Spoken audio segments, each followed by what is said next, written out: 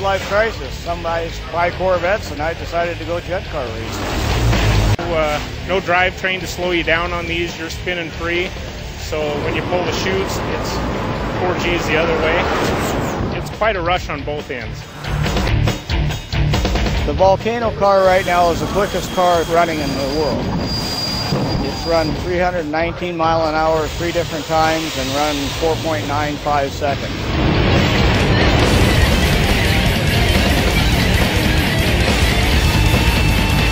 left doing it.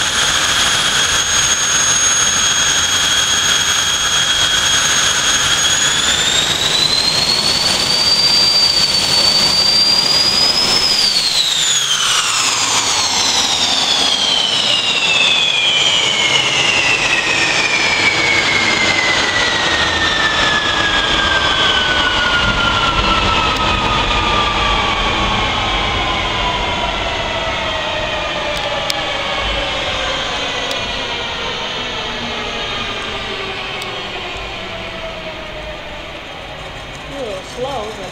Mm-hmm. Slow.